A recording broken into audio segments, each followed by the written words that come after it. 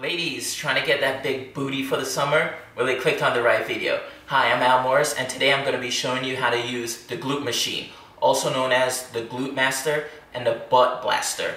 So stay tuned.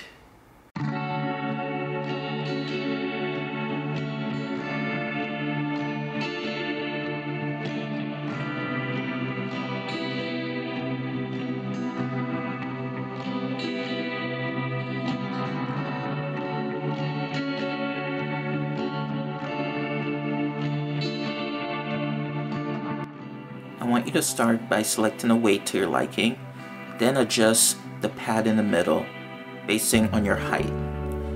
Then we're to be kneeling on the knee rest with your arms against the armrest in front of you. As you begin, your head should be looking forward and the bend of the knees should create a 90 degree angle between the hamstrings and the calves. Now I want you to exhale after you lift your left leg until the hamstrings are in line with your back while maintaining that 90 degree angle bend. Then contract the glutes throughout this movement and hold the contraction at the top for a second. As a side note, at the end of the movement, the upper leg should be parallel to the floor while the calf should be perpendicular to it. Now go back to the initial position as you inhale and now repeat with the right leg. Many gyms are now equipped with this special equipment or something just like this that isolates the glutes.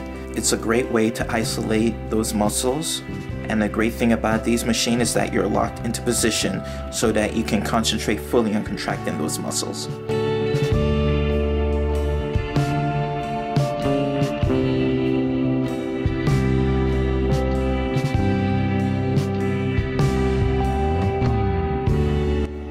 That's it for the video. Hopefully it was helpful. If it was helpful, please give it a thumbs up. And if you haven't subscribed to the channel, please subscribe to the channel below and more videos to come. So stay tuned. Bye.